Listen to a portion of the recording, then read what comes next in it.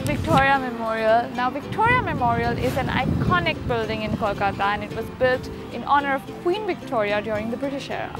It's a beautiful structure and currently it houses a museum inside.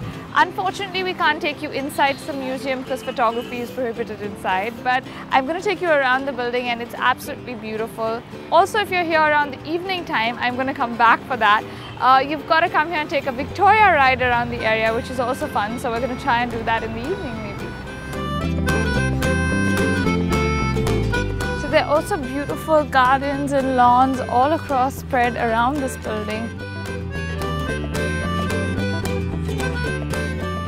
There's also a beautiful lake just ahead of the memorial and it's a perfect spot for a picnic. So I'm also going to take you through the ticket prices. It's rupees 10 for an Indian national and for foreign nationals it's 150 rupees which is a little over $2. So I think it's nice to spend the afternoon here. You can just sort of picnic here, you know, enjoy the view and just sit out. It's beautiful.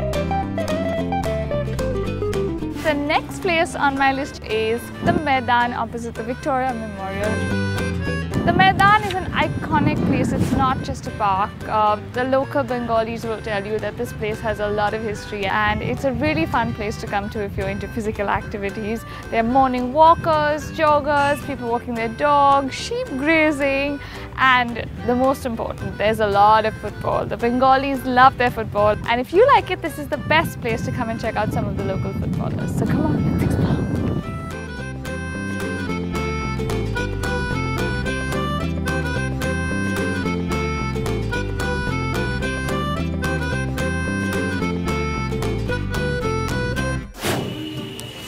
I'm back at the Victoria Memorial for my Victoria ride and it looks exciting so let's jump in.